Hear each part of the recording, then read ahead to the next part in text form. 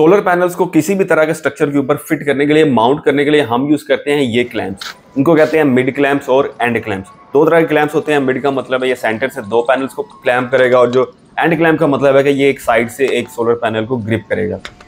इन clamps को लगाने के तीन बड़े फ़ायदे हैं और सबसे पहले ये कि ये पैनल को पूरे फ्रेम को ग्रिप करता है. नॉर्मली जो हम नट बोल्ट लगा रहे थे, नीचे से वो एक खास जगह पे ग्रिप कर रहे होते हैं और अगर नट बोल्ट आपका हल्का है या प्रॉपर वाशर नहीं रखी हुई है विंड प्रेशर से वहाँ से निकल सकता है। लेकिन ये क्लैंप्स पूरी चारों साइड से ग्रिप कर लेते हैं और स्ट्रक्चर आपका बहुत ज़्यादा मज़बूत हो जाता है। दूसरा बड़ा फ़ायदा इसका यह है कि इसका मटेरियल है एल्यूमिनियम मतलब ये इसको जंग शंग नहीं लगता, बहुत ज़्यादा मज़बूत है और इसके साथ है एस का नट बोल्ट मतलब ये पूरे का पूरा एक सॉलिड चीज़ आपने लगा दिया तो इसकी लाइफ टाइम तक ये आपका साथ देगा। मतलब स्ट्रक्चर को मसला नहीं होने वाला, कोई जंग शंग का कोई सीन नहीं आने वाला। तीसरा और बड़ा फ़ायदा इसका हमारा होता है हमारे इंस्टॉलर्स को या कस्टमाइज स्ट्रक्चर बनाने वालों को। नॉर्मली क्या होता है कि सोलर पैनल जब भी इसका स्ट्रक्चर बनता है, उसके जो चैनल्स होते हैं, जिसके ऊपर पैनल फिट होता है, वो एक्जैक्टली exactly उसी जगह पे रखने पड़ते हैं जहाँ पे हमारे सोलर पैनल्स के नीचे होल्स आ रहे होते हैं, ताकि वो एक्जैक्ट उस पर फिटिंग आ सके।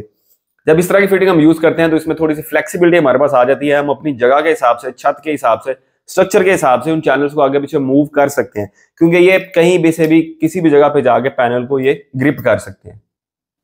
मेरा मशवरा यह जब भी आप स्ट्रक्चर बनाए, खासतौर पर कस्टमाइज स्ट्रक्चर हो या कोई एल्यूमिनियम का स्ट्रक्चर हो, या उसके अलावा L two L three normal कोई स्ट्रक्चर है तो उसको आप इसकी फिटिंग का यूज़ करें, आपको बहुत ज़्यादा फ़ायदा हो जाएगा और आसानी हो जाएगी। उसके अलावा ये आप अगर बाय करना चाह रहे हैं तो अलादीन डॉट पीके पे जाके बाय कर सकते हैं, लेकिन अभी आपको मैं बहुत ही ज़रूरी बात बताने जा रहा हूँ कि आपका कौन सा पैनल है और उसको आपने कौन सा ये क्लैंप लगाना है। तो सबसे ज़रूरी बात यह है कि नॉर्मली हमारे पास पैनल चल रहे होते हैं, पैंतीस एम फ्रेम वाला और तीस एम फ्रेम वाला। तीस एम हमारे पास लॉन्जी हाइमोसिक्स तीस एम में आ रहा है, उसका फ्रेम का साइज़ हमारे पास कैनेडियन एन टाइप है, वो तीस एम में आ रहा है डबल ग्लास में है। उसके बाद जिनको एन टाइप डबल ग्लास में जो आ रहा है, ये पीट सॉरी आ रहा है तीस एम में। तो अब ये जो पैनल्स आ रहे हैं, इनको लगेगा हमारा तीस एम का एंड क्लैम्प और इसी तरह मिड क्लैम्प की बात करें तो ये दोनों के दोनों लग सकते हैं। अभी दोनों में फ़र्क क्या होता है, मैं आपको बाद में बताता हूँ।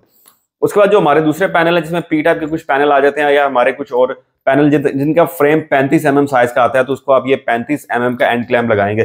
तो बात यह है कि जो एक नॉर्मल सा फार्मूला यह है कि जो सोलर पैनल्स एक पैलेट के अंदर आते हैं पैंतीस या छत्तीस। उनका फ्रेम का साइज़ होता है तीस एम अब जो सोलर पैनल आते हैं, एक पैलेट के अंदर तकरीबन तकरीबन वो बत्तीस, इकतीस, बत्तीस, तैतीस आते हैं या तीस आते हैं, उनका साइज़ लगता है उनको पैंतीस एम तो ये एक छोटा सा फार्मूला है, आप इसको देख के पैनल लगा सकते हैं। अभी बात आती है कि मिड क्लैम के ऊपर, मिड क्लैम हमने कौन सा लगाना है? दोनों मिड क्लैम बेहतरीन है, दोनों अच्छा काम करते हैं, दोनों की फिटिंग अच्छी है। ये दोनों के दोनों सेंटर में रख के दो पैनल्स को बड़े अच्छे से ग्रिप कर सकते हैं। अब फ़र्क क्या पड़ता है? कि स्ट्रक्चर कुछ होते हैं एलिवेटेड बहुत ज़्यादा हाइट पे होते हैं। आप उस पर ऊपर से आप क्लैंप्स को टाइट नहीं कर सकते। अब इस तरह से कुछ स्ट्रक्चर होते हैं जो थोड़े बहुत ज़्यादा लो होते हैं, आप नीचे से इसको टाइट नहीं कर सकते। तो इसमें दोनों में फ़र्क ही है, जो यू टाइप मिड क्लैंप है, इसको आप ऊपर से टाइट नहीं कर सकते, इसको अपने हमेशा नीचे से ही टाइट करना है, क्योंकि ऊपर से ये बिल्कुल फिट हो जाएगा, इसके अंदर घूमेगा नहीं। मतलब ऊपर से आपने कुछ पकड़ना नहीं है, सिर्फ़ आपने ऊपर से फिट करना है, नीचे से रख के इसको टाइट कर देना तो इजिली टाइट होता जाएगा, ऊपर से फ्री होने के या घूमने के चांसेस नहीं है ना ही ऊपर से आपको कुछ इसको पकड़ने की ज़रूरत होगी। फिटिंग इसकी हो जाएगी।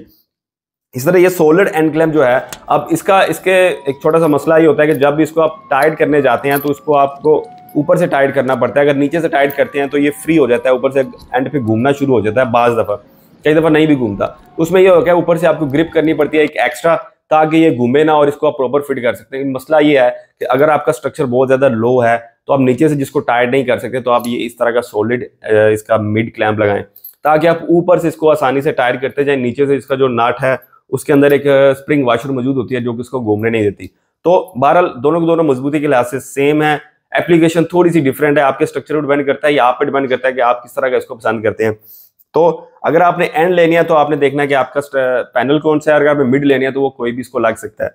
तो अभी इनके साथ आठ पच्चीस का एक नट बोल्ट आता है, हर एक के साथ इन तीनों के साथ आठ पच्चीस का नट बोल्ट आता है, लेकिन जो हमारा मिड क्लैम सॉलिड है, इसके साथ तकरीबन आठ साठ का या आठ पचपन का, आठ पैंसठ का नट बोल्ट लग सकता है।